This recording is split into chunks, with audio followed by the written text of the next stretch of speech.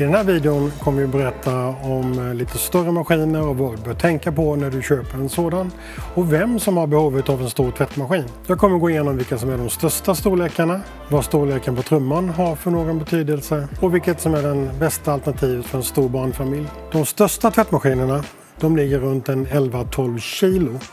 Men det här är 8 kilo och det är oftast eh, mer mer vad de flesta egentligen behöver. Många gånger så är det kanske inte kilot som är helt avgörande utan det är snarare volymen på trumman.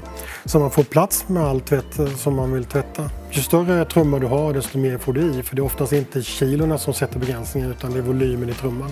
En trumma med stor volym är också bra att ha just när det gäller tvättresultat och sköljresultat.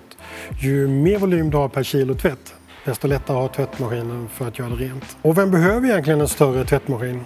Ja, det är den som kanske samlar ihop sin tvätt och har all tvätt på helgen, eh, samlat ihop under veckan.